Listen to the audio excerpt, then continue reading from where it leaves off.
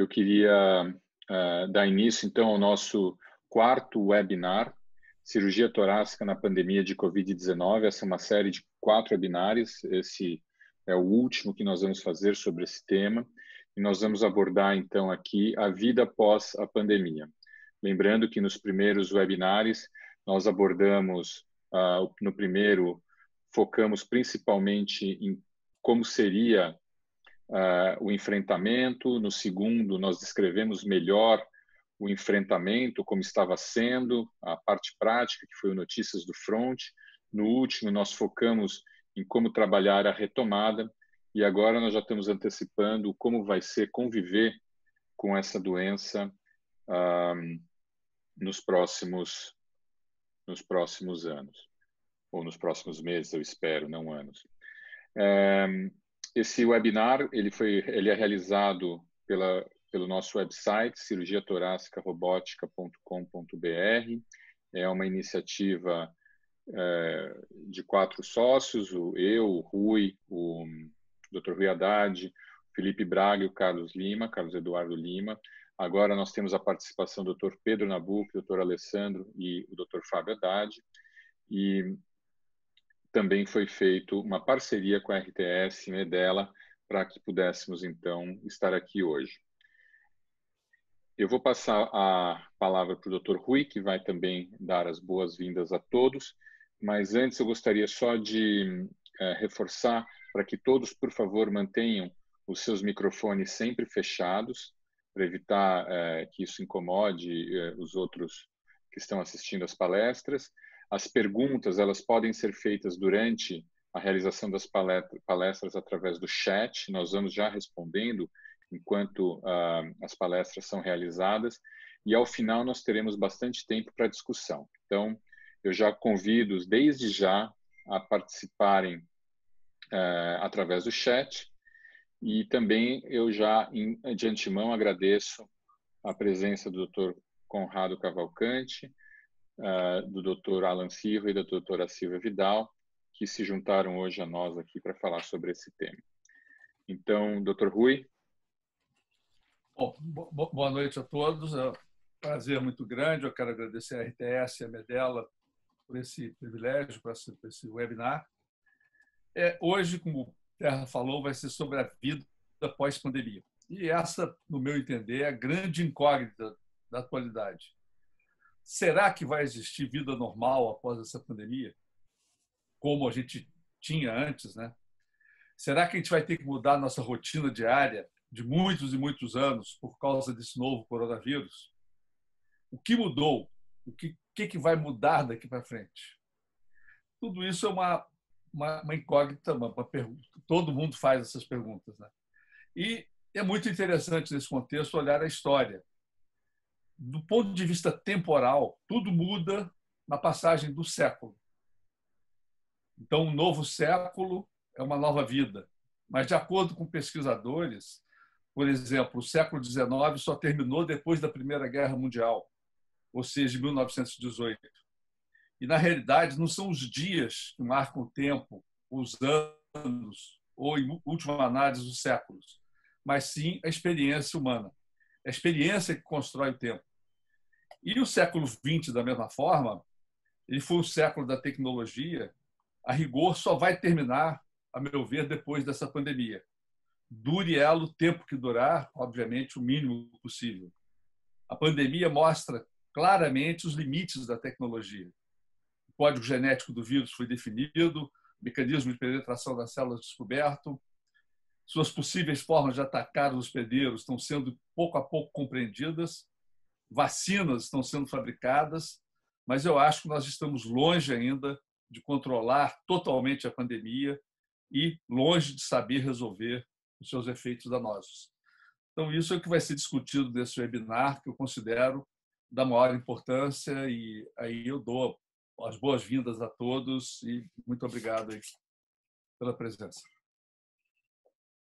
Bem, esse é, é a agenda para hoje. Nós iniciaremos o, as palestras com a doutora Silvia Vidal, que é médica infectologista. Um, ela está bastante envolvida com o tratamento de Covid-19 no Hospital das Clínicas da USP. Uh, na sequência, falaremos sobre biossegurança e cirurgia torácica, o que mudou com o Dr. Alan Sirroy, que é cirurgião torácico em Hong Kong. Teve já experiência com SARS no passado, agora novamente com Covid-19. E terminaremos a sequência de palestras com o Dr. Conrado Cavalcante, que é médico radiologista, mas é o coordenador da medicina diagnóstica da UHG, e vai falar sobre as consequências da pandemia nos sistemas de saúde com vistas ao mercado. No final, teremos a discussão com a audiência. Eu já vou passar, então, a palavra para a doutora Silvia Vidal, que vai nos falar sobre como conviveremos com isso. Combinado, deixa eu só compartilhar então a minha tela com vocês e queria começar agradecendo imensamente a honra de estar aqui nesse quarto webinar da cirurgia torácica, é um prazer enorme estar aqui. É, e a, mim coube a difícil tarefa de discutir como conviveremos com esta doença. Esses são meus conflitos de interesse para essa aula. E eu devo confessar que eu tive bastante dificuldade de desenvolver essa aula, porque eu fiquei imaginando como é, será o futuro, né? O que, que eu vou poder conversar aqui com vocês. E aí eu nem combinei nada com o Dr. Rui Haddad, mas eu também pensei em avaliar tudo o que já aconteceu até esse momento. E aí a gente sabe que a evolução, a gente só pode ter alguma mudança se houver realmente uma intervenção na história natural da doença.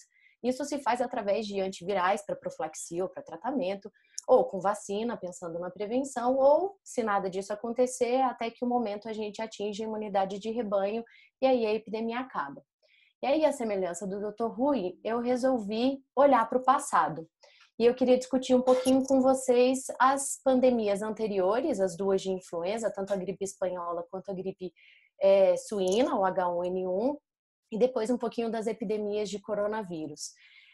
Vou começar pelo H1N1, que foi, é, foi iniciado, foi a, foi a pandemia de 2009 até 2010, começou no México, logo depois nos Estados Unidos, foi uma associação entre os suínos e os humanos, mas naquela época a gente já tinha o oseltamivir, que tinha eficácia tanto para profilaxia quanto para resolução de sintomas leves e um possível impacto em mortalidade em adultos se a droga fosse iniciada até o segundo dia do início dos sintomas. E a vacina rapidamente surgiu em outubro de 2009 e assim a gente conseguiu uma imunidade pós-vacina e o fim da, da pandemia. Em relação às epidemias por, por coronavírus, a primeira é do SARS-CoV-1 em 2003, também na China. Ela teve uma mortalidade alta, era uma doença grave, síndrome respiratória aguda grave, é, e fez com que, apesar de casos muito graves e uma mortalidade maior do que o que a gente tem visto, isso proporcionasse um controle local importante e essa epidemia nunca virou uma pandemia.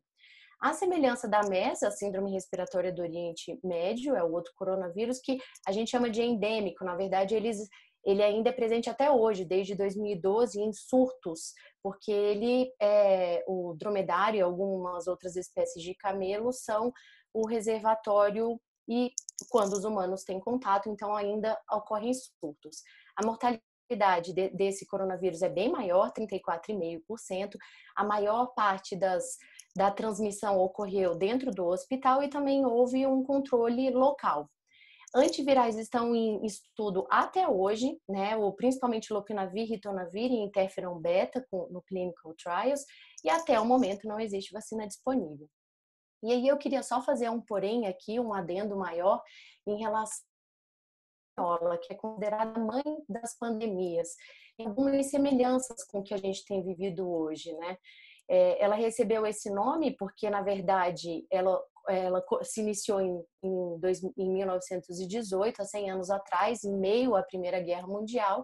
E como a Espanha era o único país neutro, não estava nem nos aliados e nem era a Áustria ou a Alemanha, coube a ela receber esse nome, mas na verdade é porque existia uma omissão de dados por questões políticas. Eles preferiam dizer que os soldados morriam por causa da guerra do que por causa da gripe. Mas é, provavelmente esse vírus influenza ele veio mesmo dos Estados Unidos. Ele tem uma relação com o vírus influenza aviário de algumas aves que, que ficam normalmente na região do Texas e Kansas.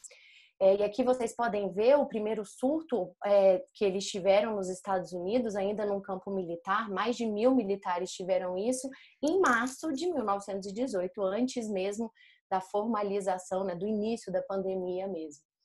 É, o que chamou a atenção é, desse, nessa pandemia é que a gente não tinha vacina nem antiviral e ela realmente só acabou depois é, o controle só foi atingido depois da imunidade de rebanho, mas isso acarretou em 500 milhões de infectados e aproximadamente 50 milhões de mortes, principalmente em adultos jovens. Até Eduard Munch, o, o a, a, artista norueguês, é, acabou é, tendo a gripe espanhola e fez esse, essa obra de um, um autorretrato. E também é dele o nosso o, o grito e eu coloco aqui só para gente não se desesperar e vamos ver o que a gente tem aprendido, voltando para o futuro, opa, na verdade para o presente, o que a gente aprendeu aí nesses últimos seis meses sobre esse novo coronavírus.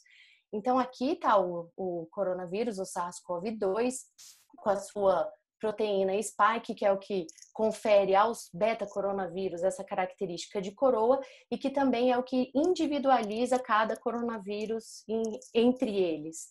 E também é ela responsável pela, pela entrada celular quando em contato com o receptor da é, enzima conversora da angiotensina 2.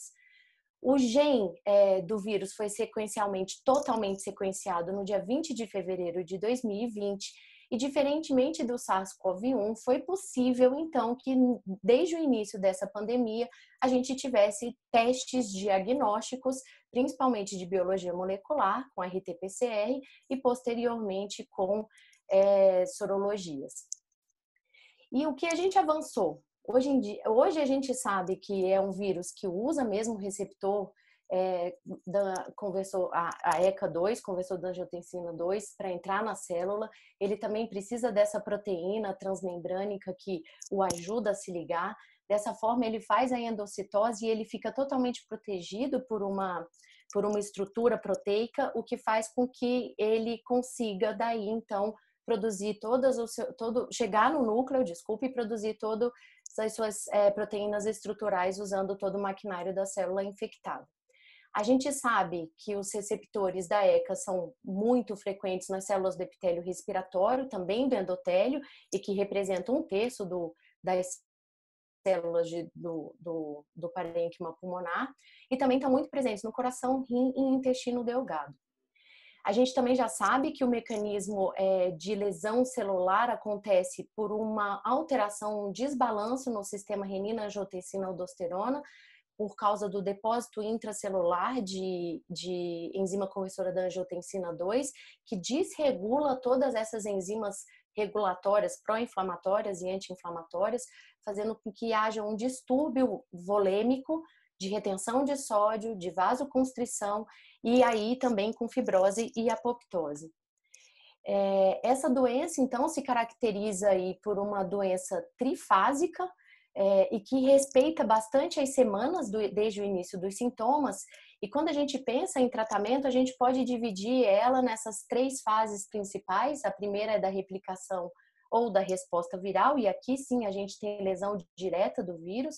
Depois a gente chega a uma fase secundária que a gente chama inflamatória ou fase pulmonar, em que daí tem muito mais uma relação da resposta imune do hospedeiro, uma exacerbada resposta imune do hospedeiro, e que daí é que, provavelmente, nesses casos, é que inibidores da IL-6, inibidores da, é, antagonistas do receptor da IL-1 e provavelmente corticoides sistêmicos possam ter aí alguma ação, e depois uma terceira fase que a gente chama de hiperinflamatória ou fibrótica, em que a gente vê alguns casos não só de fibrose pulmonar, mas também das complicações relacionadas à, à doença, a coagulopatia da COVID, que já é uma entidade descrita e que na maioria das vezes causa trombose, principalmente tromboembolismo pulmonar. E aí, baseado nessas três fases e conhecendo como é o mecanismo de ação de, de invasão celular, a gente pode imaginar os alvos de antivirais. Se algum deles realmente funcionasse, a gente poderia ter um impacto positivo e terminar essa pandemia. Então, vocês podem ver aqui, quando o coronavírus vai, vai se ligar ao receptor da angiotensina 2, a gente tem aqui a ação de plasma convalescente ou alguns anticorpos monoclonais aí com uma promissora é, um promissor futuro. A gente também tem aqui quando ele entra na célula, ele daquela naquele encapsulado, a gente teria aqui a ação da hidroxicloroquina para fazer com que é, esse vírus não ficasse protegido no citossol celular. Depois a gente tem a, a produção das, das enzimas desse vírus todo e depois a endocitose. E aqui são os alvos de alguns desses antivirais que a gente tem estudado e discutido tanto ao longo da pandemia, alguns já no, sabidamente sem efeito, como a hidroxicloroquina e o lopinavir ritonavir, e alguns ainda com efeito questionável.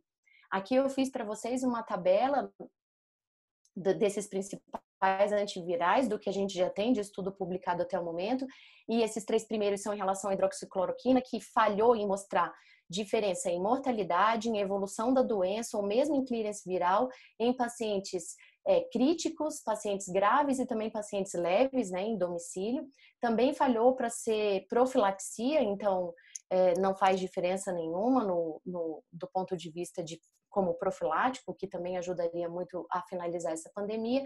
E aqui são os dados iniciais do Remdesivir, um estudo que ainda está em, em andamento e que mostrou aí um benefício de quatro dias a menos de internação hospitalar, ou seja, de evolução da doença, mas que esse impacto foi muito maior em pacientes que estavam em enfermaria. Ele falhou em mostrar impacto real para pacientes em, é, em uso de ventilação não invasiva ou pacientes intubados em UTI. Para comentar sobre as vacinas, eu fiz questão de deixar aqui dois trabalhos. Um foi publicado no final de abril e esse agora, no é, 4 de junho, que mostram para gente os oito tipos de vacina que estão sendo estudados. Em abril nós tínhamos 90, tipos, 90 estudos em andamento, hoje a gente já tem mais de 100 tipos, sendo duas vacinas em fase 2 para 3. Mas o que eu quero chamar a atenção de vocês é que essas duas vacinas que têm estudos mais avançados, e aqui eu chamo a atenção da AstraZeneca e da Universidade de Oxford, que é uma vacina que, que é, é relacionada com um vetor viral, que é o adenovírus. As outras vacinas são relacionadas a ácidos nucleicos, DNA, mas principalmente RNA. O que eu quero chamar a atenção é que esses dois tipos de vacina são vacinas não liberadas, não usadas mundialmente para nenhum tipo de patógeno até o momento. Não que não vá dar certo, mas até o momento a gente não tem nenhum tipo de vacina como essa sendo usada. É, começou agora, está em fase 1 ainda, uma vacina que se baseia nas subunidades das proteínas do, do SARS coronavírus, à semelhança do influenza H1N1, então talvez aí seja mais promissora. E também é, lembrar que por mais que a gente esteja no momento em que anseia muito isso, isso deve demorar. Os vacinólogos mais otimistas acham que sim, será possível é, o surgimento de uma vacina em aproximadamente 18 meses, diferentemente dos 10 anos que normalmente acontece para o desenvolvimento e liberação de uma vacina. E aí, por último, eu quero comentar aqui sobre a imunidade de rebanho, a imunidade coletiva. Isso, isso depende de vários fatores. O principal fator é o índice R, que é a capacidade do agente, do patógeno de infectar, de um paciente infectado, e aqui vocês podem ver em vermelho quem está infectado, de acabar infectando, de infectar outras pessoas. Então, aqui é um exemplo de um, de um índice R igual a 4. Um infectado acaba contaminando quatro pessoas. E aí, ao longo do tempo, você vai tendo mais pessoas infectadas, mas alguns que depois ficam imunes. E aí, esses imunes vão começando a proteger quem é suscetível até um momento em que um infectado não consegue infectar mais ninguém. E aí, esse é um estudo que leva em consideração que a gente teria um índice R estável, porque ele depende muito da densidade populacional de cada país, cidade, até de, de questões culturais, idade e comorbidades dessa população. Mas imaginando que a gente tivesse um índice R é, da, da SARS-CoV-2 no Brasil igual a 3, a gente precisaria aí de 67% da população imunizada no mundo, o que poderia acarretar numa taxa de fatalidade que, se a gente levar em consideração 0,6, o que é bem razoável e bem otimista, a gente só atingiria imunidade coletiva após 30 milhões de óbitos no mundo, sendo 1 milhão no Brasil. E aí vem a pergunta: e a gente está perto de chegar nessa soroprevalência? Poucos estudos publicados, na verdade, aqui esses dados são de, da mídia, da, é, público mesmo.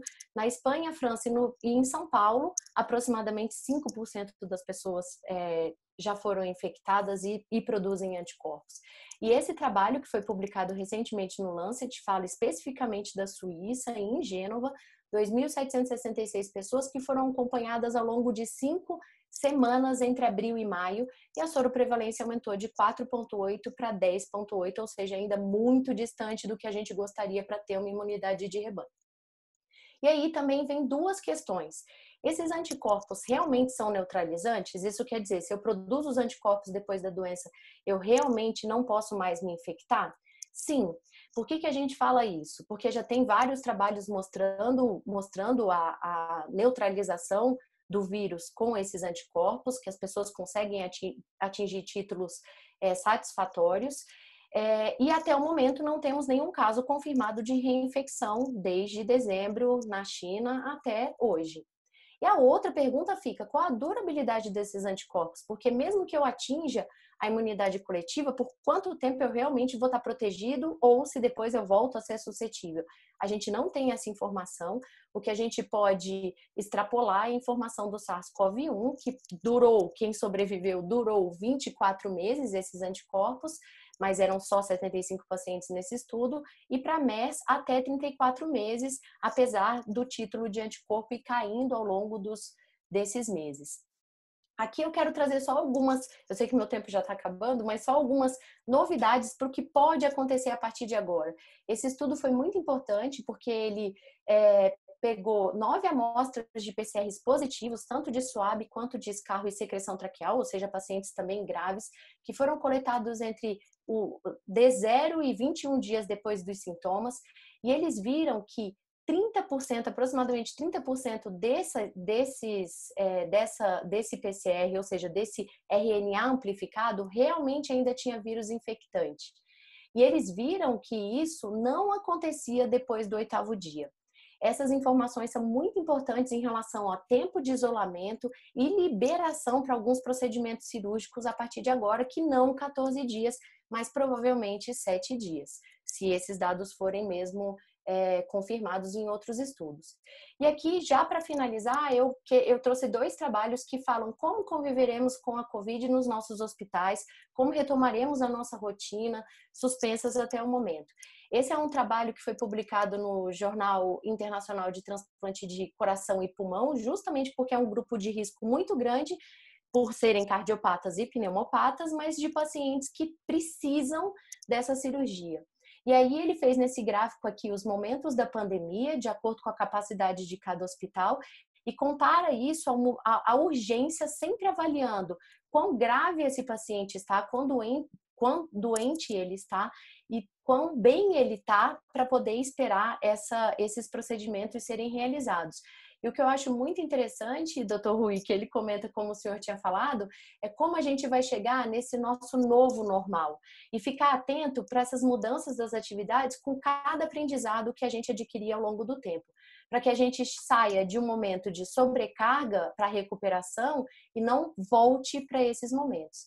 Mas como que a gente vai poder avaliar esses riscos e benefícios? Que instrumento a gente vai poder usar se a gente vai ter que sempre ter essa tríade? O risco do profissional de saúde, os recursos que o hospital nos dispõe e o risco para aquele paciente. E aí eu trouxe aqui para vocês, eu acho que vocês já estão familiarizados com esse trabalho, que é um score é, realizado por vários membros da sociedade do da sociedade é, é, do Colégio Americano de Cirurgiões, desculpa, que leva em consideração vários fatores do procedimento cirúrgico a ser instituído, da doença de base e algumas características do paciente. E aqui eu estou ressaltando vocês, né? A cirurgia torácica que sempre tem números maiores, se, se paciente pode demorar muito ou não, aguardar muito ou não para esse procedimento, e aí eu estou pensando muito mais nas neoplasias pulmonares. E aqui eu ressalto que uma das da, dos dos fatores do paciente muito importante é a doença pulmonar. E aí, nesse score, você pode ter de 21 a 105 pontos.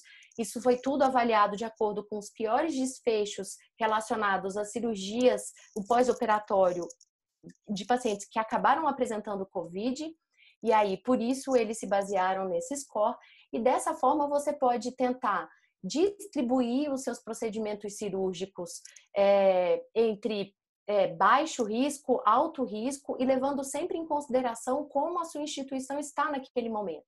Lá em Chicago, depois que eles já tinham parado os procedimentos todos por causa da epidemia, quando eles retomaram os procedimentos através desse score, eles foram bem sucedidos em 30 é, é, procedimentos que eles gostariam de fazer e só cinco foram cancelados. Aqui eu termino com a frase de Sócrates, que eu só sei que nada sei, e espero que a gente tenha uma boa discussão a partir de agora. Desculpa o adiantar da hora, mas muito obrigada pela, pela atenção. Bom, Silvia, muito obrigado pela excelente apresentação.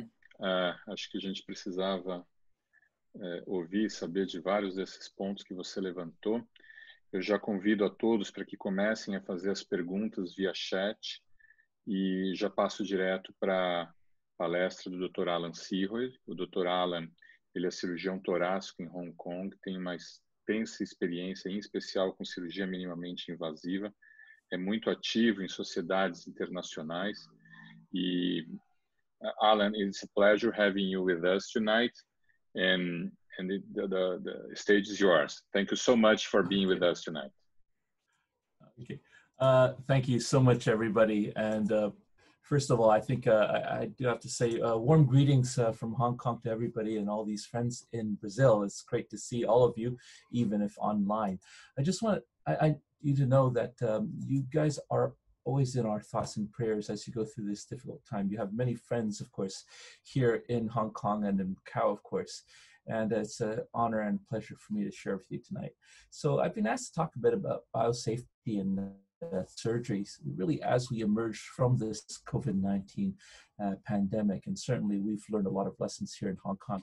Uh, these are my disclosures. I think uh, one of them, at least the Medela uh, conflict, I do have to mention because one of their products will turn up later on in this talk.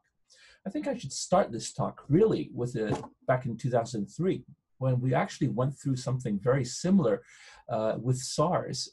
And back then in 2003, Hong Kong was the global epicenter of the entire epidemic. And back then, we had 22% of all the total cases in the world here in Hong Kong, and 37% of all the total deaths from SARS were in Hong Kong. And that was a big uh, uh, impact on our society. But flash forward 17 years, and in COVID 19, this year we've had uh, we did quite quite a lot better. We've contained the uh, uh, spread of the virus in Hong Kong fairly well. We actually have fewer COVID-19 cases than we had SARS cases back in 2003. More importantly, we had far fewer deaths. We had almost 300 deaths in 2003. A lot of them were medical staff. So a lot of the carers on the front line actually ended up dying from SARS. But in 2020, with COVID 19, we only had a total of four deaths. So the situation has much improved. And the lesson from this is that as we emerge from 2020, the current COVID 19 pandemic, we can actually learn a lot of lessons. If there's anything good coming out of this current virus outbreak, is that there are good lessons to be learned. So that whether it's Brazil or the rest of the world, I think next time we face an epidemic like this, we will be much better prepared and uh, we, we can serve our patients much better. So with that in mind, let's have a look at what's happening now. Now, the main danger, of course, in terms of biosafety with COVID-19 is a spread, spread from patient to patient and from patient to staff and even from staff back to patients.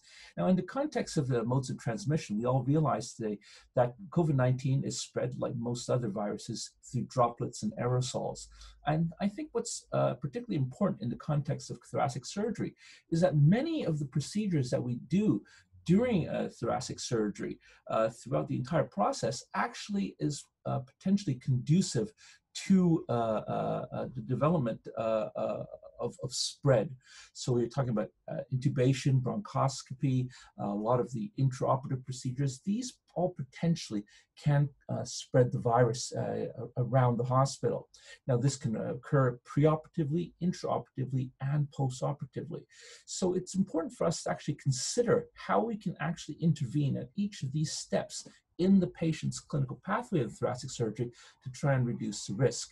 We can start, of course, with the preoperative stage. And I think what's important here is that we actually have to think about limiting patients coming into hospital where there's most likely a chance of patient to patient and patient to staff spread. Now, the ESTS actually did a survey early on uh, during the pandemic of about 400 surgeons from around the world, thoracic surgeons. And I can see, you can see here on this chart that the majority of uh, responders did say that the, to some extent, if they're seeing a COVID-19 patient or suspected COVID-19 patients, uh, surgery has to be affected. You probably have to delay or even cancel surgery. So there is some impact being recognized. But what exactly is that impact? And I think really the answer is not one size fits all. We do have to consider how the virus is affecting different regions of the world. And we do have to, in some ways, tailor our response. Uh, uh looking at the situation, uh, how it's affecting us. And certainly we've been very fortunate here in East Asia because we learned from 2003. And you can see here in this particular corner down here, most Asian, East Asian countries actually have managed to contain the virus quite well. And certainly when you have done that, then uh, the impact on thoracic surgery services is a bit less, as we'll see in just a minute. Whereas for the rest of the world, when uh, the virus is already outbreaking in fairly large numbers, then we're not talking about containment anymore. It's, it's actually a situation of mitigation and how you provide thoracic surgery services for if essential uh, things like lung cancer treatment, esophageal cancer treatment becomes a different picture. So how are we going to uh, um, uh, uh, design our preoperative uh, protocols according to this? Well, let's start in the uh, top left corner with the mitigation. And I think we can borrow from the experiences in our, from our friends in the United States. And certainly the American College of Surgeons has already recognized the need for triaging and rationing of, thoracic, uh, of surgical services during the pandemic. And they've had this very simple scheme, which I'd just like to share with you, and you've probably seen before. I think there are two elements to this.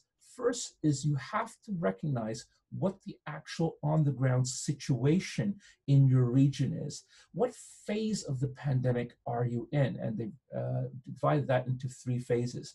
Phase one is where you know the COVID cases are starting to rise the healthcare system is not yet overwhelmed. Phase two is when you're starting to reach ICU and ventilator capacity limitations. And phase three, of course, is that when you're totally over capacity, it is complete overwhelming. So you have to recognize the setting.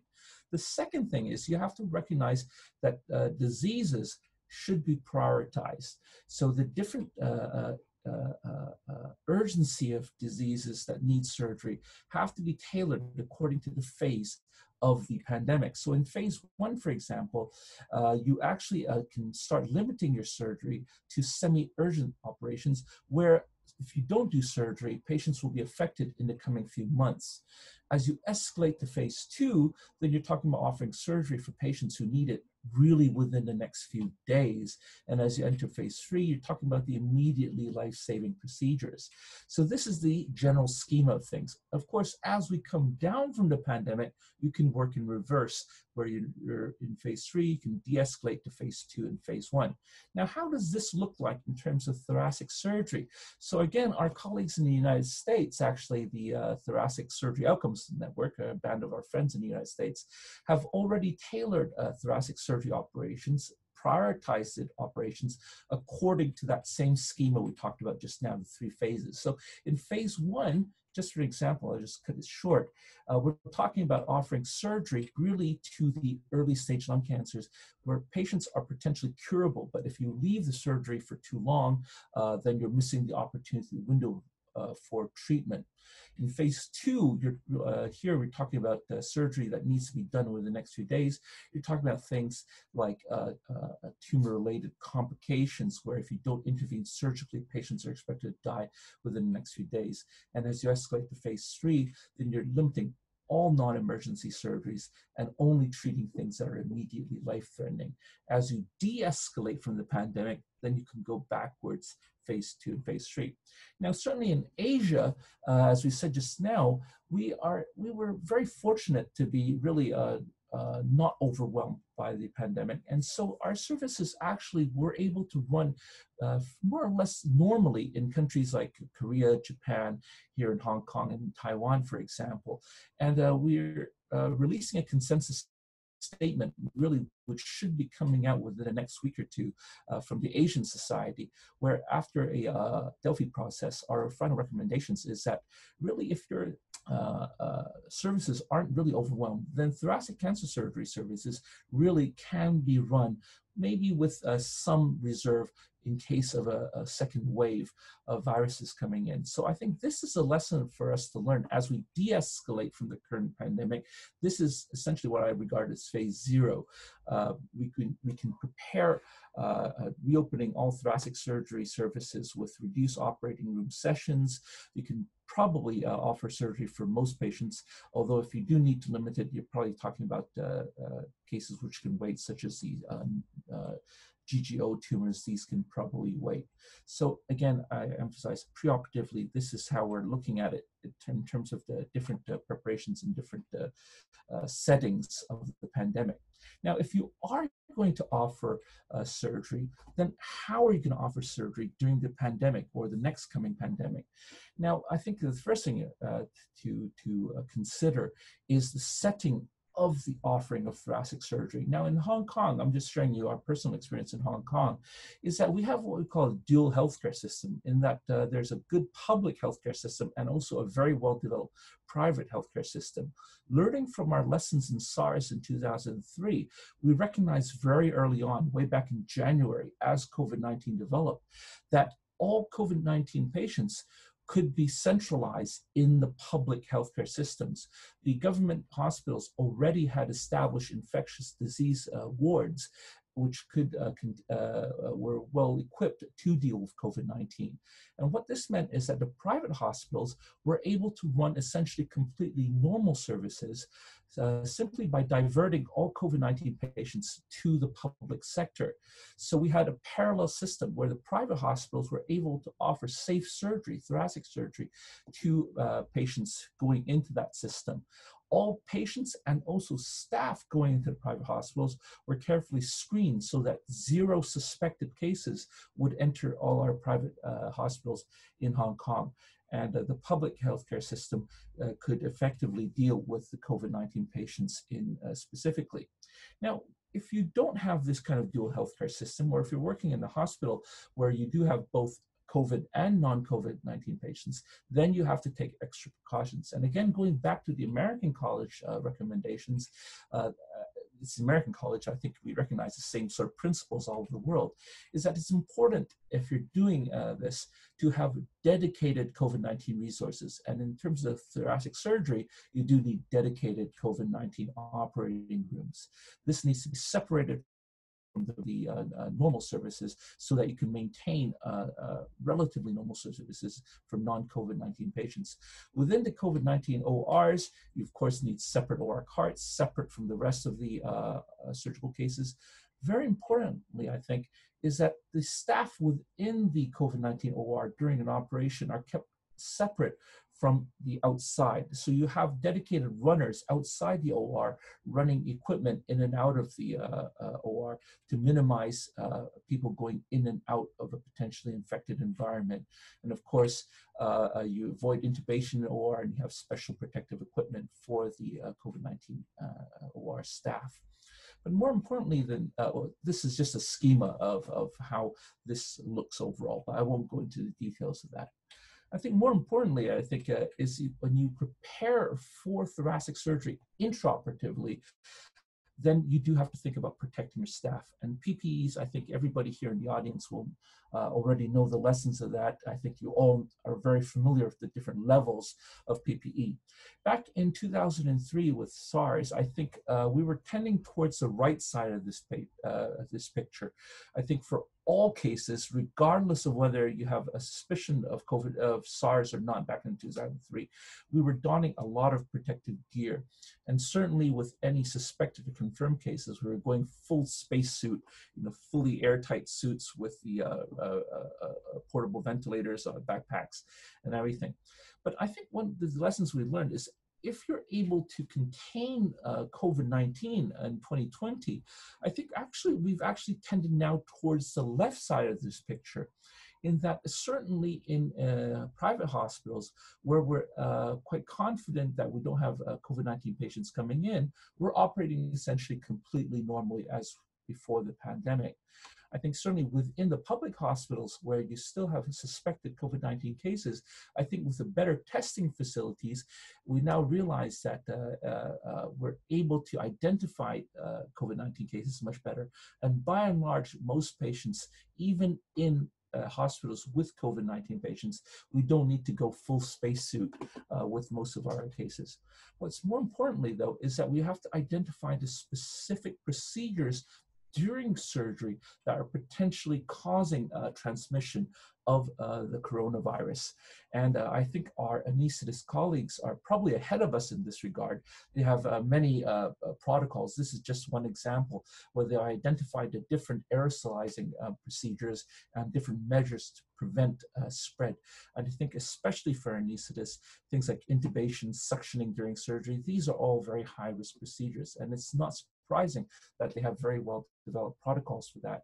One of the things that uh, we, we do actually routinely do for thoracic surgery in Hong Kong now, after the SARS 2003 epidemic, was this. Every time you uh, intubate any patient, you bag their head all the intubation, extubation, et cetera, et cetera, is done within a plastic bag. And this is done uh, fairly routinely. So uh, while they're doing this, we as surgeons, of course, exit the operating room. So we're not there exposing ourselves uh, to any potential aerosol uh, uh, spread.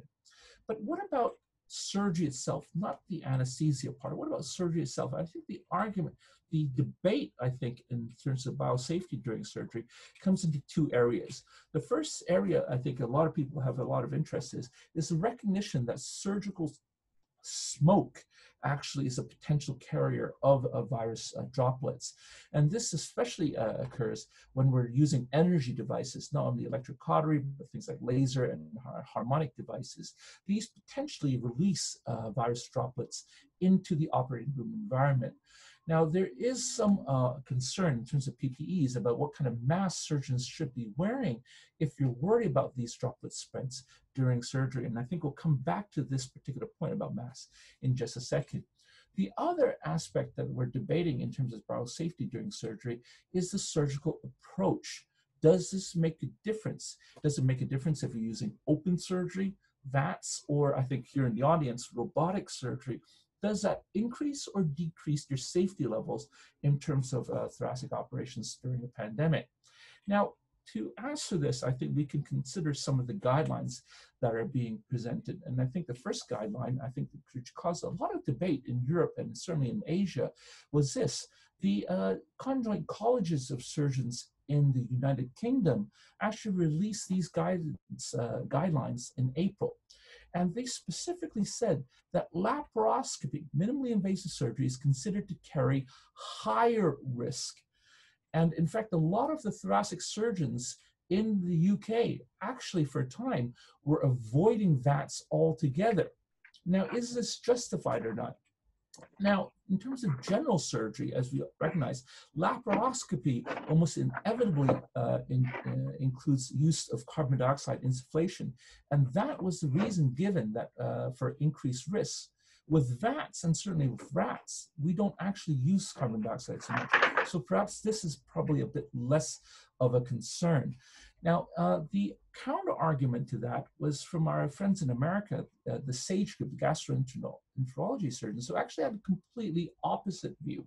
And in terms of surgical approaches, they actually say that small, smaller wounds are actually better. It makes sense because if you don't have a big open wound, then potentially you're having less access for any created surgical smoke to escape into the operating room environment. They do, however, caution that if you are using CO2, you should keep the pressure to a minimum. And if you are using electrosurgery or energy devices, you should use the lowest possible settings. So there's an ongoing debate. But I think the, uh, the argument, the debate is swinging towards the fate in favor of minimally invasive surgery in a pandemic environment. And certainly going back to our consensus statement in Asia, we, we uh, in Asia recognize that actually the evidence doesn't point either way. And there's probably no specific difference in terms of surgical approaches. We'll come back to this in a minute. There is a potential advantage of using minimally invasive surgery. More importantly, I think, uh, is to identify, as I said, the high risk intraoperative procedures, things like using bronchoscopy throughout your surgery, cross-jet, uh, cross-field uh, ventilation during sleeve resections, for example, or, or, or tracheal resections, uh, excessive suctioning during surgery, etc. These should probably be reduced or avoided. Uh, I should also mention that one of the things we noted in Asia is that a lot of uh, our European friends discharge patients home with a chest drain. In Asia, this was never the practice, and specifically in the pandemic environment, we discourage this. I think what we don't want is a patient going home with a chest drain, potentially infecting the community, and we'll come back to this chest drain issue in just a second. Another part of our consensus is that we recognize that uh, when selecting patients for surgery, we want to select patients with a lower likelihood of ICU admissions or prolonged hospital stay. And this was initially really a, a reflection that we didn't want to overwhelm our uh, services in the hospital. But if you really think about it, it also makes sense that you don't want patients hanging around in a hospital environment after surgery because you're exposing that patient to the potential of cross infection of uh, uh, a virus. And also, if the patient himself has a virus, you don't want him or her uh, spreading virus to staff or to other patients. And that's another reason why I think in Asia we tend to favor minimally invasive surgery. Because if you can get your patients home sooner, then potentially you're exposing the risk of the patient and the staff you're, you're reducing that exposure to risk. Now, uh, in terms of hospital stay postoperatively, what are the risks? And one of the thing, key things that's being identified around the world now is this chest drainage. Um, because postoperatively, if a patient has an air leak, and uh, the it's carry the air leak itself has a potential of carrying virus-laden droplets. And as that air leak escapes out into the chest drain, as it bubbles through these water seals, then there's a theoretical risk that you're creating extra aerosols and droplets, which in a traditional water seal system would escape directly into the atmosphere. And that is a source of concern for some thoracic surgeons around the world. Now, is this concern real or is it just imagined? Now, we can, uh, well, there actually no good uh, hard evidence for that so far, but at least anecdotal reports like this have been uh, mentioned across the internet. This is actually from our friends in London, and they actually observed that in their unit, they did have a, patient, a patient with a prolonged air leak after surgery who was subsequently found to be COVID 19 positive. And subsequently, in that ward, after the patient was discharged, a number of patients on that same ward tested positive for COVID 19. Now, I stress that this is not a peer reviewed article, so I don't know how good the evidence is, but there are anecdotal reports of this emerging around the world. And another thing we can uh, uh, uh, make reference to is back in 2003 in SARS, one of the many outbreaks we had in Hong Kong occurred in this housing estate called Amoy Gardens. And what happened was a patient with SARS back then went to the toilet. And when he flushed the toilet, his waste got aerosolized and you can see the sewage tubes outside the buildings actually link all the units up and down in that same building and the aerosol spread upwards through the sewers into the toilets of other apartment users in that same building. And that caused a mini outbreak. Now, if you can imagine this U-tube in the sew- uh, in the toilets being similar to the uh, water seal in your chest drain, if it, it can occur between apartment blocks, you can imagine that this sort of thing can occur within a ward with patients with water seal chest drains. So there is a theoretical risk of spreading virus uh, if you have a COVID-19 patient on your ward. So what can we do to ameliorate this risk? Well, uh, I came across this paper. I think a lot of you probably have read this already. If you haven't, you should. I think this is a really nice paper from our trauma surgeon colleagues in America. And they offered four suggestions, which I thought were quite reasonable. The first thing here on the left is very simple. If you're using a water seal uh, system, put some bleach into that water seal. Very simple to do, and you're killing off the virus safely, effectively, and quite cheaply. The second thing to do is actually advise connect the patients to suction. Because when you connect the patient to suction, then any air leak that's coming out doesn't go into the outside atmosphere, it goes into the wall. And more importantly, you fit in a viral filter between the chest drain your wall suction, and there you go. You have a closed system that's quite safe. If you don't want to use suction, then you can actually put a viral filter onto the end of the uh, uh air outlet, and again, you're reducing the risk. Uh, the viral filter, I don't know how available that is in Brazil. In Asia and most parts of Asia, we don't have this. So we'll come to another solution in a minute. The final uh, suggestion they have, again, this is brilliant. Use cable ties on all the connections on your chest drain. So this uh, reduces uh, leakage around the connections, and more importantly, it stops accidental uh, disconnection and release of virus into the atmosphere. So this is a nice, simple suggestion. Now, I mentioned just now that uh, these viral filters are not necessarily available in all places around the world. So one of the alternatives that are being suggested is the use of these digital chest drain systems. Now, one of the beauties of these digital chest drain systems is that they already come with a filter in the reservoir. So this is how it actually looks like. This is a drain coming out of the patient. Uh, uh, the air actually uh, goes into the reservoir, and before it returns into the system and gets ejected into the atmosphere, it goes through a filter. Now, this is actually not a viral filter. It's a bacterial filter does it work for viruses? Now, if you actually look at the size of viruses, viruses are tiny compared to bacteria, as we all know. The uh, SARS virus, the coronavirus, is essentially a medium-sized uh, virus, but it's still smaller than the pores in a bacterial filter. And some people would say that really a bacterial filter won't work so well for viruses. But that's in theory. In practice, the picture might be slightly different. Now, we can actually make reference to this particular paper, which my colleagues here in Hong Kong uh, published in Nature Medicine just a couple of months ago, and specifically looking at the use of surgical masks, which are essentially the same filtration level as most bacterial filters, not a viral filter, a bacterial filter. And if you just use a surgical mask uh, uh, on, on breathing, you can see that it can actually effectively reduce the risk of spread in terms of droplets and aerosols of coronavirus. So there's some evidence that you don't actually always necessarily need to go all the way to a viral filter.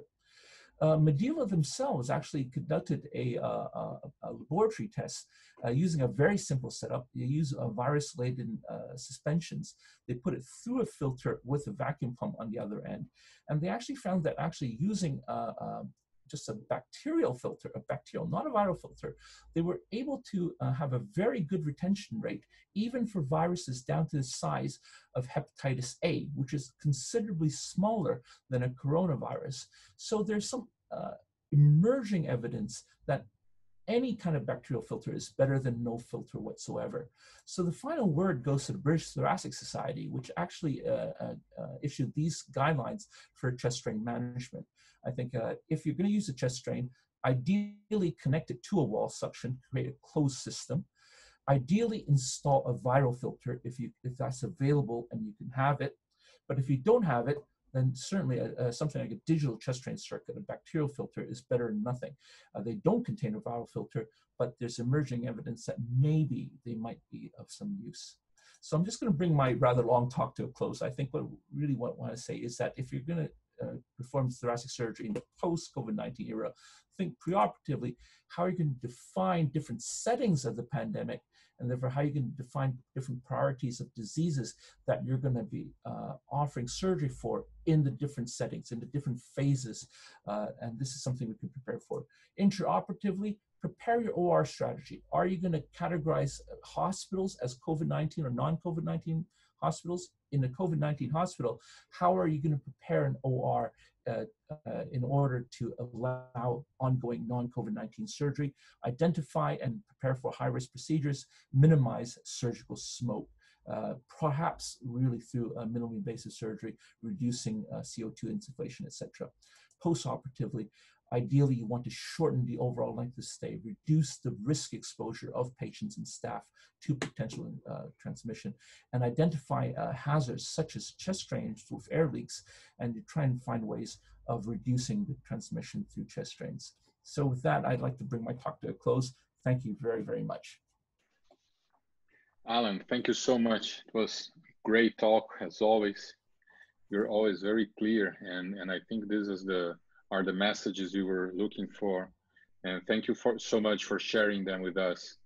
Uh, we'll move on to the next speaker, and people will write down on the chat, or uh, at the end we'll have the discussion. I have some questions to you, but I'll save them to the end. Um, eu só queria reforçar, pessoal, um, vocês podem fazer já as perguntas via chat. Acho que o Cabeto já colocou uma pergunta para a doutora Silvia, um, mas sintam-se à vontade já para iniciar as perguntas e uh, o que não for respondido aqui a gente vai também abordar na discussão final. Eu queria só lembrar, eu esqueci de falar no início, mas essa, uh, esse webinar está sendo gravado, então uh, é bom que todos tenham sua ciência disso, inclusive pela questão de imagem. Eu já passo então para o Dr. Conrado Cavalcante, que é médico radiologista, o coordenador da Medicina Diagnóstica Nacional da UHG e um grande amigo. Muito obrigado, Conrado, pela participação e pelo é, tempo que você está investindo aqui com a gente. Então, por favor. Obrigado, Ter, por estar aqui. É, Doutor Rui, linda a abertura que você fez e é uma responsabilidade ser o terceiro depois de duas aulas brilhantes. É, não tenho conflito de interesse e aqui eu trago a minha visão do mercado. Tá? Não é necessariamente a visão da minha empresa, mas é a minha visão do mercado brasileiro. Né? Como vai ser a saúde do pós-Covid? É, não sei. Tá? É, dito isso, que eu não, não sei como vai ser o futuro, eu vou fazer também assim como os outros colegas, uma viagem para o passado. Tá? Então, eu vou falar um pouquinho do cenário do Brasil, da saúde no Brasil, vou falar de algumas tendências de mercado, de novas tecnologias e, por fim, o impacto de tudo isso na nossa vida como médicos. Eu vou falar esses cenários no mundo pré-Covid, no mundo Covid e no mundo pós-Covid, se é que a gente pode chamar que vai ter um mundo pós-Covid. Então, cenário do Brasil. É um cenário de crise econômica, até hoje a gente não recuperou 2014, crise política que não sai, né? e uma crise, crise de valores na sociedade é, que está dividida e com pessimismo e desconfiança.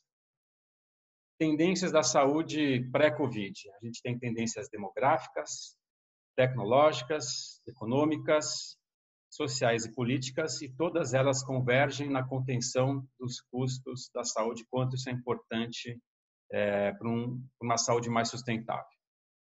Então, tendências é uma população que está envelhecendo no Brasil, que está começando a ter mais doença degenerativa, é, oncológica e cardíaca, mas sem se livrar das questões básicas de saneamento e de doenças infecciosas. É um ambiente de tecnologia crescente que, se de um lado a tecnologia aumenta os custos da saúde, com incorporação de novos procedimentos, por outro lado, eu acho que a tecnologia vai ser parte da solução para a gente ter um sistema de saúde sustentável. Eu acho que mudar o modelo de remuneração já se fala isso há alguns anos, mas isso já está acontecendo, né? Então, antes era teoria, agora já é realidade. O modelo fee for service, ele é perverso porque ele ele paga quantidade, estimula o overuse, e o modelo ideal é o pagamento por performance e por desfecho.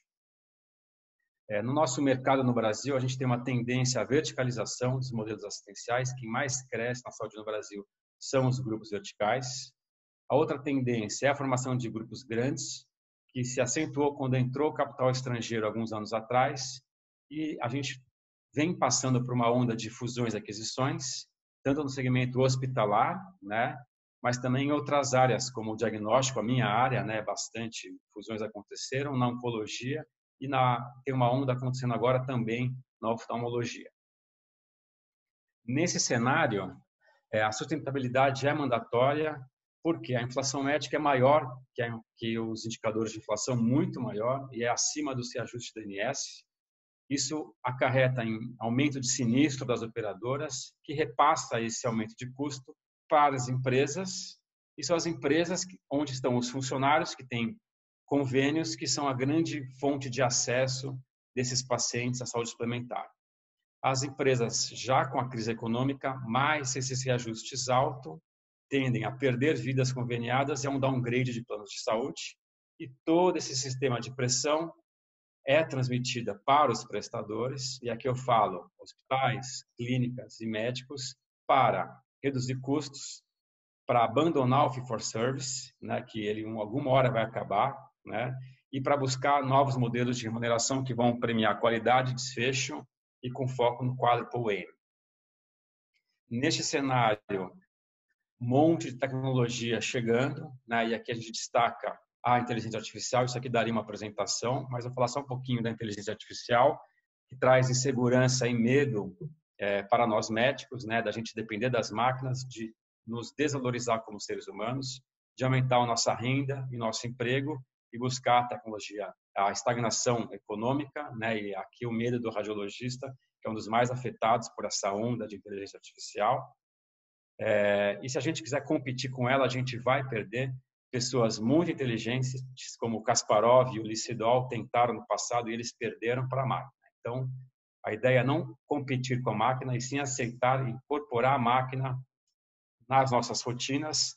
E o homem mais a máquina, que é o centauro, ele é melhor que o computador sozinho. Tá? Então, abraçar as novas tecnologias, pensando assim, a gente pode é, traduzir a inteligência artificial como uma oportunidade para a gente automar processos repetitivos, inúteis, que não agregam valor, para a gente ganhar eficiência, reduzir erros melhorar a qualidade assistencial e enobrecer a nossa profissão. Como enobrecer? A hora que a gente perde, evita perder tempo preenchendo prontuário e outras atividades repetitivas e dando mais tempo da gente interagir com os pacientes, a gente enobrece a nossa profissão e dá mais valor para o paciente.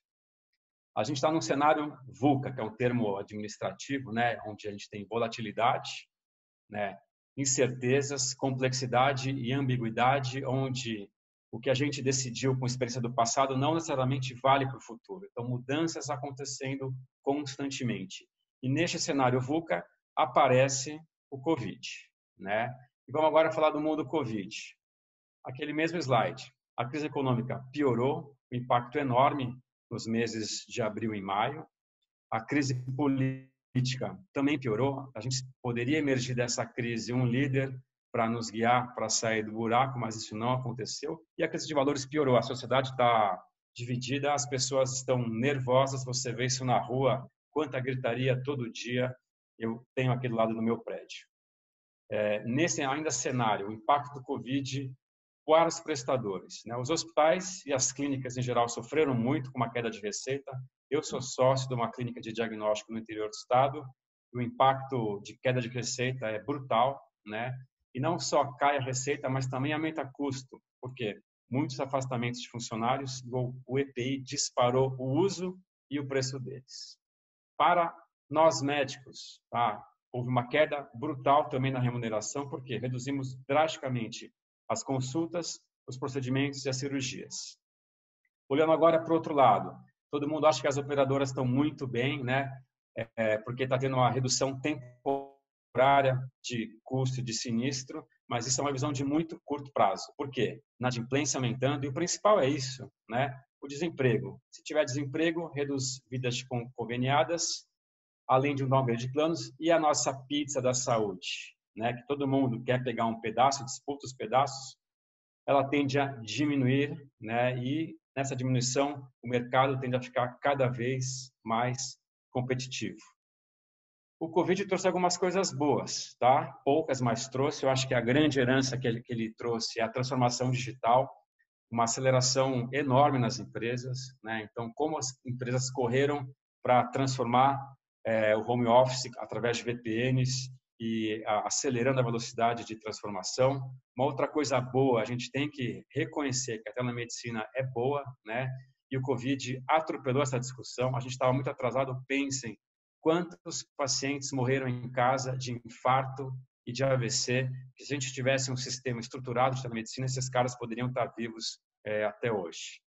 Por outro lado, o Covid também traz coisas negativas, né? Então, para nós médicos e para nossos colegas da enfermagem, da fisioterapia, né? Uma sobrecarga de trabalho para quem está na ponta, né? Muitos afastamentos, muitos colegas doentes, tá? e todo mundo, todos nós conhecemos alguém que já morreu de Covid, infelizmente. Se de um lado, na imprensa, a gente é valorizado como herói, na prática, o que a gente sente no futuro é que a gente vai ganhar um tapinha nas costas, obrigado, e vai seguir a, vida. Eu acho que isso vai causar um estresse grande para nossa classe, para os nossos colegas, e o burnout vai crescer bastante é, no meio de saúde. Falando agora do futuro ou do presente, né, do pós-Covid, né, aquele mesmo slide, o que, que mudou? Não muda nada, né? A gente tem os mesmos problemas que a gente tinha antes, mas eles estão mais acentuados. A mesma coisa na saúde. O que, que vai mudar com o Covid? Não muda. As tendências que eu falei antes vão continuar iguais. O que, que eu acho que vai acontecer? A opinião pessoal, aquelas tendências vão, com aumento de competitividade, vão acelerar. Então, acho que o drive para acelerar o modelo de remuneração vai ser mais rápido, as verticalizações tendem a crescer, o mercado vai vai consolidar, muitas clínicas pequenas vão falir, muitos hospitais pequenos que já tinham dificuldades não vão sobreviver. É, eu acho que o mercado vai ter um drive forte para o outpatient né, e uma deshospitalização, porque isso é mais custo efetivo. A digitalização vai vir forte, rápido, em massa, e esse monte de dados que vai ser criados vão ter que ser integrados através de interoperabilidade para a gente poder fazer melhor manuseio populacional e eu acho que a inteligência artificial vai só crescer e a telemedicina também vai só crescer. Então, eu acho que o mundo pós-Covid é igual que a gente viveu antes, só que as transformações vão ser muito mais rápidas. É, em relação ao pós-Covid, vai ter que restabelecer um novo equilíbrio entre as forças e os players do mercado. Então, quais os desafios para os hospitais que perderam muita receita?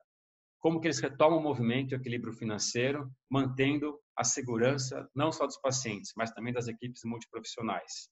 E como que os hospitais vão competir e participar desse modelo de outpatient e de deshospitalização.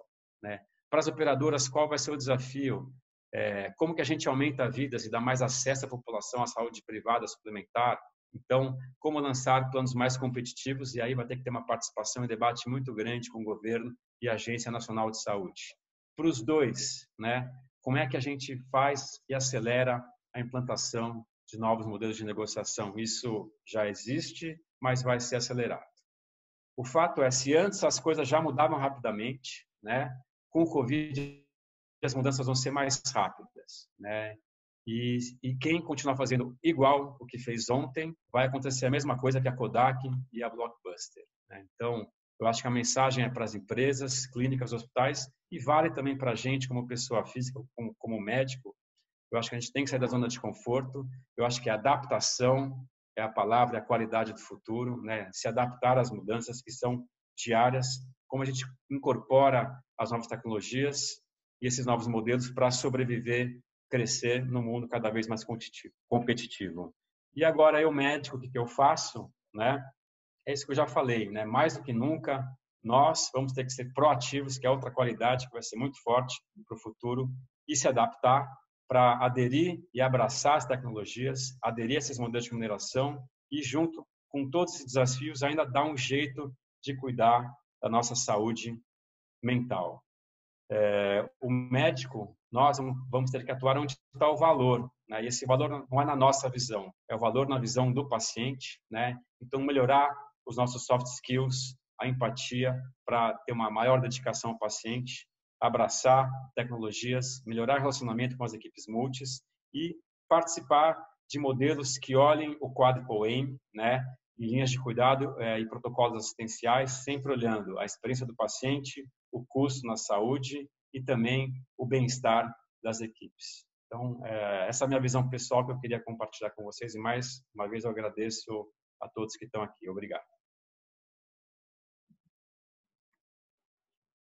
Muito obrigado, Conrado. Achei excelente. É, acho que a angústia de todo mundo agora, que esse primeiro, essa primeira onda né, de angústia, que era o medo do Covid, como que seria, o que, que era a doença, etc., isso está mudando. Já as pessoas conhecem melhor a doença, já estão se adaptando a conviver mais com o fato. A gente vê uma grande, uma grande angústia é, por causa de suas receitas e porque e como vai ser e acho que isso foi um bom resumo. Eu vou uh, abrir agora para perguntas. Uh, eu vi que a, a Silvia e o Cabeto já estavam se comunicando aqui uh, online uh, pelo chat. Eu antes de abrir para todos, eu queria só fazer, eu começar fazendo uma pergunta para o Dr. Alan. Um, Alan. Yes. Uh, I, I, have a question for you. Um, we we. I'm sorry. Uh, with regards to to masks, do you think it's necessary to use like N95 masks uh, for procedures in non-COVID patients during the pandemic? Well, uh, I, I, think it's uh, uh, back in SARS in 2003, we used N95 everywhere, even just walking down the, the corridor. Um, this year in 2020, I think uh, we kind of realized that uh, it's probably not absolutely necessary if you have a case that uh, you've already uh, tested for for COVID-19, if it's ne negative, then we certainly don't use N95. But I, I think we do have to um, uh, consider this statement in, in the context of the, the environment you're actually working in. In Hong Kong, we're, we're quite lucky in that the city as a whole is relatively free from uh, COVID-19. We've actually quarantined everybody very well early on. And so the chances of a, a patient who's screened as they go into hospital uh, uh, having unsuspected COVID-19 is actually very, very low. I think in a different environment, for example, I think in mainland China, talking to some of our mainland Chinese colleagues, where uh, early on in January and uh, in February and March, where uh, in the city as a whole there were a lot of asymptomatic carriers, then it may actually be safer to have a, a, a, a N95 even in uh, in cases where you suspect they don't have COVID-19. So I think it does actually depend on your particular environment at a particular time. Thanks. Uh, and we, we have, um, it, it's funny because in the past we, we were concerned about biosafety, but we were more concerned about protecting the patient and protecting ourselves. That's, for instance, I've never heard the, the term PPE being hmm. used for, uh, you know, for doctors. It was used for uh, you know workers in in factories in other situations. And and now we are like um, having to learn how to use them and more frequently than before. I know that the infectologists are more um, used to that but even for surgeons that wasn't the case. Uh, we were more uh, uh concerned about the patient uh, protection instead of ours and and mm-hmm. and I see this changing now, and and maybe the um, this is one of the, the, the consequences of COVID-19, the, the concern of surgeons particularly with um, protecting themselves better. What is I, your couldn't agree more. You're absolutely right. I, I, think even up till last year, I think there was still a debate ongoing whether uh, over whether surgeons need to wear any mask at all yeah. in any operation. I think the new normal after 2020 is we'll all be uh, wearing a mask. I think uh, certainly uh, your, your, point was fantastic. I think as as a as a source control uh, for an asymptomatic surgeon carrier. I think uh, this is quite important. And I, I, think the lesson that we've learned over the last uh, 20 years in Asia is that wearing a mask is, is probably at least as important as a, as a measure of source control rather than as a personal protection, as you say.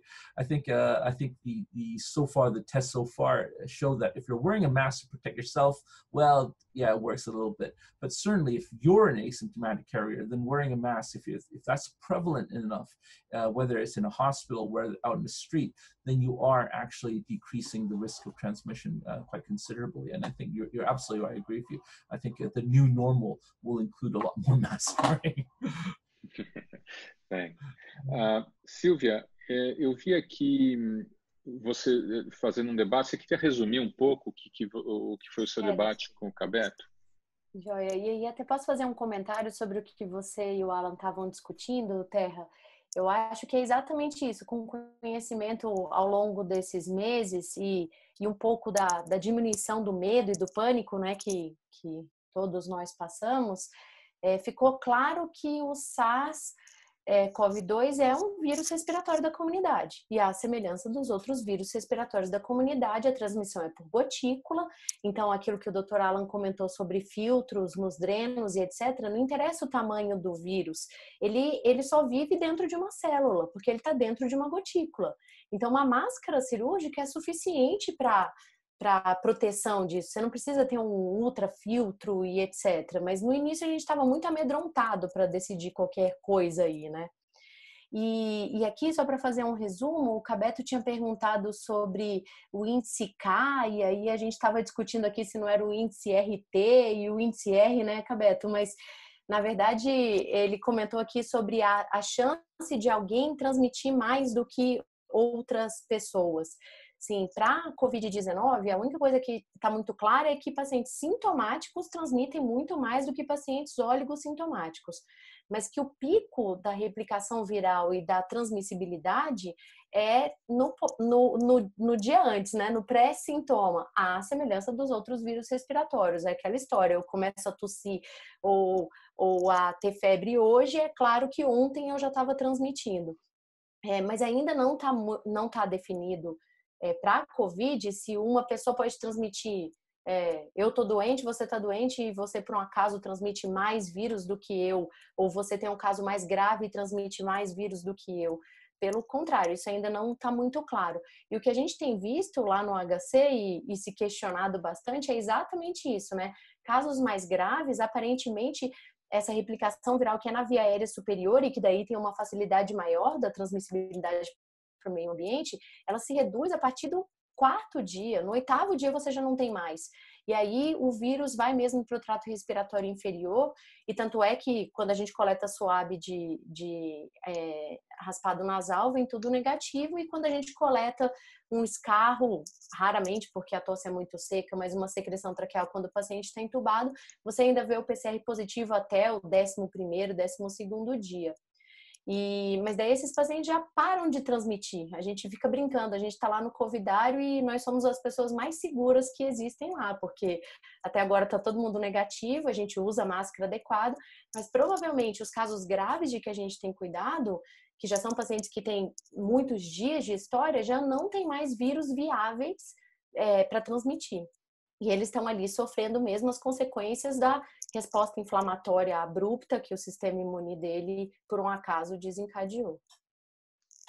Acho que eu respondi tudo, será? Tomara, dessa vez. Okay. Eu, eu, queria só fazer uma pergunta provocativa, Sil. Uh, eu tive uma paciente que ela teve Covid, ela foi, uh, assim, desenvolveu sintomas leves até, mas foi confirmado por PCR ela teve a sua cirurgia, portanto, postergada. Era uma cirurgia que a gente precisava fazer relativamente rápido, porque era uma metástase, mas poderia esperar. Uh, nós acabamos optando por esperar quatro semanas. Ela já tinha completa ausência de sintomas há três semanas quando a gente marcou a cirurgia e repetiu o PCR como parte do, do da rotina do hospital. E esse PCR veio positivo como talvez fosse esperado. E aí a cirurgia foi suspensa novamente e foi solicitado que se repetisse esse PCR em uh, uma semana. Uh, o que, que você acha dessa postura de pedir PCR para pacientes que têm uma probabilidade muito grande de, de vir positivo, apesar de não ter mais doença? Então, é, é, aquilo que a gente. Ainda bem que você fez essa pergunta, e eu coloquei aquele trabalho sobre não ter vírus viável a partir do oitavo dia, justamente para isso. Assim, isso vai ter uma implicação grande é, nas condutas institucionais de isolamento, de liberação para cirurgia, etc. E, infelizmente, Terra ainda é o, o que a gente tem. É, pra, pra, de, de, de concreto, né, para segurar. Então, por exemplo, lá no HC, vocês sabem disso, a transferência entre institutos depende de dois PCRs negativos, que agora já mudou. Um PCR negativo e mais de 14 dias de história da doença. É, hoje cedo eu participei de um, de um webinar sobre transplante de pulmão com vários centros é, do mundo inteiro. E em Toronto, para pacientes não transplante, eles liberam do isolamento com 14 dias sem nenhum PCR. justamente baseado nisso. O CDC tem indicado é, a saída do isolamento a partir do décimo dia. Eles falam 7 mais 3, né? O esquema 7 mais 3, ou seja, é, pelo menos, que vai somar 10, 10 dias do início dos sintomas, com pelo menos 3 dias sem nenhum, é, sem nenhum sintoma, principalmente febre e tosse, que são os sintomas principais, tanto para voltar para o trabalho quanto para sair do isolamento. Então, acho que no, no futuro próximo, as instituições vão rever esses critérios é, mas que eles ainda usam com esse PCR, né? Pra... E aí eu, eu não coloquei na aula, até porque eu já tinha me alongado bastante, mas é, tem um trabalho que eles fizeram em, em 1.300 em 1.300 pessoas na comunidade em Nova York, e aí eles viram tanto a resposta sorológica quanto a pesquisa de PCR desses pacientes, né? E aí, dos pacientes que tinham tido sintoma e PCR positivo, eles de... mas eram sintomas leves, eles demoraram até 24 dias para soro converter. E vários pacientes continuavam com PCR positivo até o 47º dia. Ou seja, ele já tinha IgG, ele já não tinha mais doença em atividade, nada disso. Uma sugestão que tem sido feita em várias instituições é associar o PCR com a sorologia. E aí você talvez você tem uma resposta rápida com PCR que sai em um dia. E aí com a sorologia que pode sair aí em mais alguns dois, três, talvez até uma semana, você sabe se esse paciente tem doença ativa ou se foi só um contato e provavelmente esse PCR agora já é um falso positivo. Eu acho que é para isso que a gente vai caminhar nesse futuro breve. Mas sim, a gente vai ficar na mão de cada definição de cada instituição, infelizmente. Perfeito. Eu brinco que protocolo é guia, não é gaiola. A gente tinha que saber olhar para fora. Perfeito. Tem uma pergunta do Fábio Haddad aqui. Fábio, você quer fazer a pergunta ao vivo para o Dr. Conrado? Oi, Terra. Obrigado pela oportunidade. Parabéns a todos pelas, uh, pelas explanações e a, a discussão está excelente. Na verdade, a, a minha pergunta para o Conrado é, é, assim, se ele acha que a inteligência artificial vai se tornar um, um instrumento de, de, rastreamento de saúde, de acompanhamento de saúde, é, como sendo uma interface entre os, os prestadores, é, entre, os, entre, as fontes pagadoras e o, e o paciente, né, ou pelo menos o cliente, digamos assim. O médico vai ficar restrito para essa é, é, prestação de serviço, né?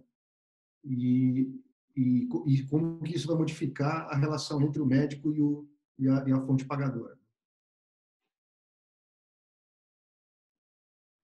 Sim, é, eu acho que, a, que ela vai ser um instrumento de rastreamento super importante, mas para que isso aconteça, a gente vai ter né, algumas ondas de transformação. Acho que a primeira é digitalizar os dados. Hoje, a gente ainda é muito analógico é, em diversos lugares consultórios, hospitais, etc.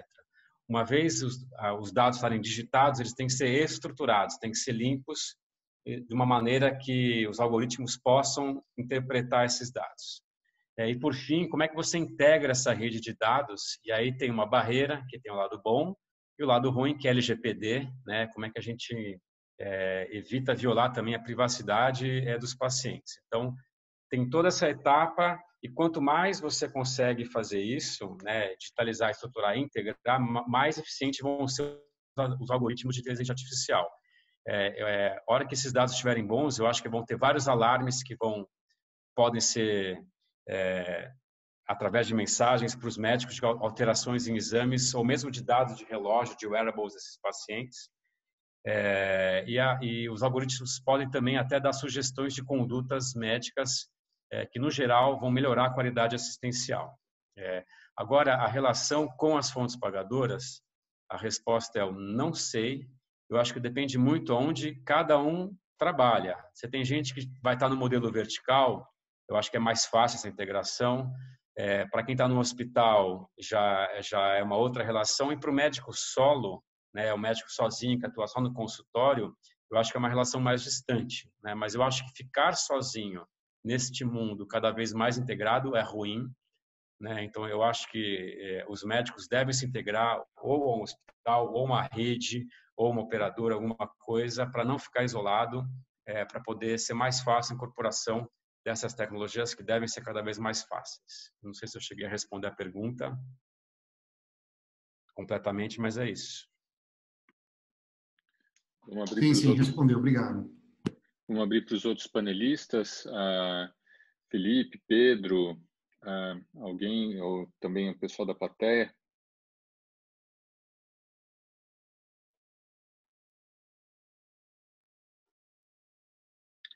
Eu, eu queria fazer uma pergunta para o Conrado. Assim, me preocupou bastante a, a colocação da, da Silvia quanto a essa provável demora ainda, né? Tem um período grande para que a gente tenha é, o controle real da doença.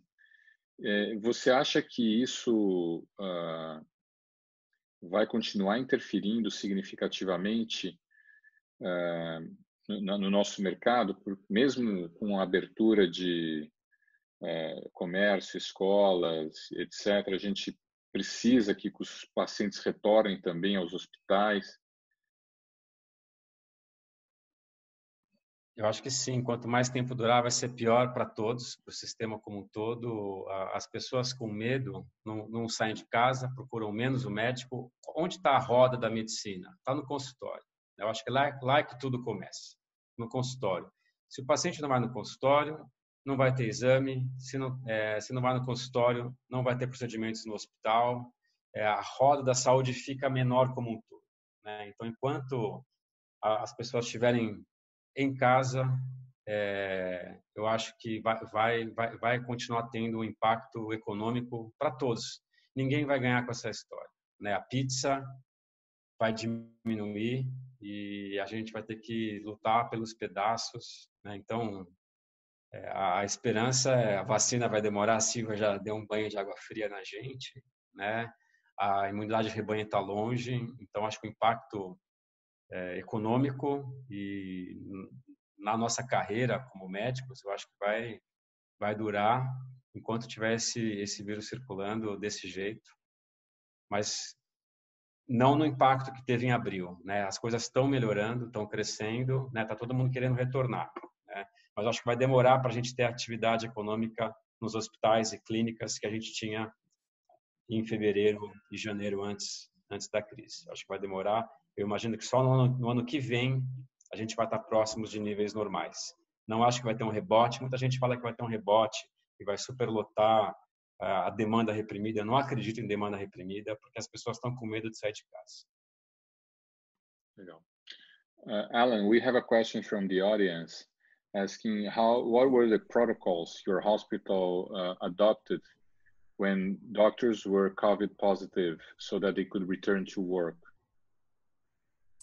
Well, uh, the, the, the private hospitals and the uh, public hospitals had slightly different um, uh, uh, uh, individual protocols. In private hospitals, the, the policy is very simple. Anybody, anybody, staff or patients or relatives who were COVID positive were not allowed in. Uh, even after um, uh, you've been tested negative, there still was a, a 14 day cool off period, a quarantine period, uh, and you had to be quarantined after afterwards retested uh, before you're actually allowed back into hospital. So um, as far as I'm aware, that's still in place. Thankfully, in this current uh, pandemic in 2020, not that many uh, medical staff uh, uh, in Hong Kong were actually infected. I think were fewer, but uh, relatively few. I think even in the government hospitals, I think the um, uh, protection levels actually were quite adequate. So we didn't actually have to face too many of these uh, situations. And do you think it's necessary to test these uh, patients who were COVID positive uh, again? Like, uh, if even if you postpone the surgery a month? Uh, yes, I think uh, it's to protect the uh, patients and the staff. I think at the moment, at least in the hospitals where, where I'm working in, it's not even a matter of operating. If if a patient is actually uh, positive, then they do not even enter the private hospital buildings. Mm. Uh, in the public sector, I, I think uh, uh, even if they're thinking of operating, again, I think you have to be retested. It has to be at least negative uh, from PCR tests before I think uh, really we should be operating on non-urgent cases. And Cabeto tem uma pergunta. Cabeto, pode conectar e fazer a pergunta ao vivo? É, boa noite, vocês me escutam, Terra? Muito bem. Boa noite. Obrigado. Agradecer a, a, pela excelência da apresentação de todos. É uma pergunta para Conrado. Eu, ontem eu li um artigo no New Yorker é, que fala sobre a importância da, da arquitetura é, nas pandemias e que ambas, uma, uma moldou a outra. Fala até de uma reportagem do, dos primeiros arquitetos nos, nos sanatórios na Finlândia. É, na sua percepção, nesse lado gerencial seu, eu não conheço você muito bem, mas pelo que eu entendi, você tem essa. Você acha que essa pandemia pode mudar a estrutura dos nossos consultórios, a estrutura do, do, do, do nosso ser e estar dentro dos hospitais ou dos consultórios? Eu, eu acho que quem tem arquitetura favorável à segmentação de fluxo de pacientes sai na frente. Né? Só que isso é muito, muito difícil você adaptar é, hospitais para fazer isso, principalmente os pequenos que não conseguem. Mas os hospitais que conseguem dividir fluxo de paciente, né? são os maiores. Paciente internado aqui, paciente contaminado lá, e ter uma área só para. Uma área, não existe Covid-free, mas se a gente pudesse falar essa palavra que não, não é correta, uma área para outpatients ou, ou, ou sem nem, todo mundo assintomático através de triagem de temperatura é, e, e, outras medidas de, de, segurança. Eu acho que essas estruturas que já existem é, são mais fortes competitivamente para o futuro. Eu também acho que a, a unidades ambulatoriais é, têm mais força. Agora, falando na minha área, que era de diagnóstico, eu acho que laboratórios é, focados, que são os grandes, eles estão mais preparados é, para receber os pacientes, porque os pacientes estão evitando ir nos hospitais, então eles também têm essa vantagem competitiva. Se isso vai, vai ser um drive para o futuro arquitetura, eu acho que sim, mas isso requer investimento é, e tempo, e investimento é uma coisa que hoje ninguém está com dinheiro sobrando para poder investir nisso. Então, eu acho que é, é a adaptação do mais forte, né, Darwin, tem, já existem estruturas que estão adaptadas para oferecer fluxos melhores e mais seguros para pacientes e colaboradores, e elas vão sair na frente das outras. Ah, bom, nós estamos caminhando aqui já para o final do nosso webinar. Né? A proposta era uma hora e meia. Eu vou passar a palavra para o professor Rui Haddad para fazer as considerações finais, eh, perguntas ou o que desejar. Então, Rui. Obrigado, Terra. Eu acho que foi um seminário realmente sensacional. As palestras da Silvia, do Alan e do Conrado foram magníficas. Eu, eu comungo muito das ideias do Conrado com relação a esse nosso futuro. Né? Ah, muitos cientistas e muitos futuristas dizem que o SARS-CoV-2 funciona como um acelerador do futuro a pandemia antecipa mudanças que são muito que muito provavelmente já estavam para acontecer, como trabalho remoto, educação à distância, busca pela sustentabilidade, cobrança pela sociedade para que todos sejam mais responsáveis do ponto de vista ecológico, social e profissional. As inúmeras transformações, elas passam pela política, economia, modelo de negócios, relações sociais, cultura, psicologia social e relação entre cidadãos, cidades, desculpe, e os espaços públicos. A telemedicina e a inteligência artificial estão encontrando seus caminhos. E aquilo que o Conrado falou, que ele não sabe se vai acontecer, né? mas eu acho que vai sim. Eu tenho consciência assim, absoluta de que os efeitos da pandemia vão ser muito duradouros, que a Silvia disse isso, a vacina vai levar 18 meses para estar disponível universalmente, né? E isso significa que outras ondas de coronavírus podem eclodir, alternando períodos de abertura e isolamento durante esse tempo. Ou seja, nós devemos realmente, como o Alan falou, nós devemos estar preparados para essas novas ondas que possivelmente, espero que não, mas possivelmente vão ocorrer.